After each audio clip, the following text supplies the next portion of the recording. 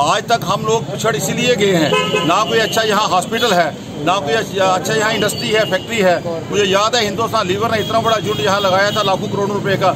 लेकिन उनकी लेबर यहाँ बेकार बैठी रहती थी, उनके ट्रक लखनपुर में फंसे रहते थे। मटेरियल नहीं आता था। धीरे धीरे उन्होंने बंद कर दिया बिलवाड़ा ने बंद कर दिया। वो से झुंड जो मेरे सामने यहाँ आए, वो सारे बंद हो गए हैं। आज सेंट्रल गवर्नमेंट ने जो नया फैसला यूटी के अंदर किया है, हर एक आदमी को अधिकार है। इससे क्या होगा? आज बड़े बड़े हॉस्पिटल नहीं है यहाँ पर। कोविड के कारण हम इतने परेशान थे। मेरे स्वयं भाई बीमार थी नरैना के अंदर एडमिशन नहीं मिल रही थी, कोई हॉस्पिटल नहीं था।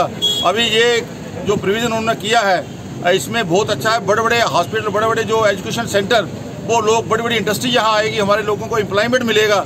हम लोग जिस चीज़ की अपेक्षा कर रहे, बहत्तर साल जिसके लिए हम लोग लड़ते रहे, आज वो सपना पूरा हो रहा है। जम्मू जम्मू, कश्मीर का आज जो हमारा यूथ है, वो सारा बाहर जा रहा है काम करने के लिए।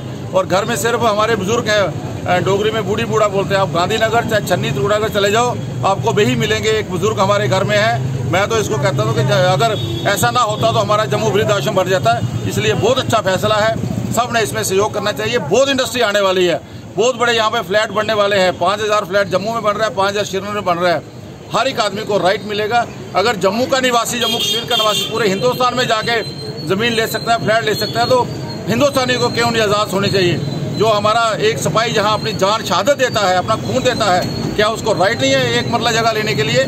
ये सेंट्रल गवर्नमेंट का और हमारे आदरणीय प्रधानमंत्री का और अमित शाह जी का बहुत बड़ा फैसला है। हम जम्मू वासी इसको बहुत बहुत वेलकम करते हैं।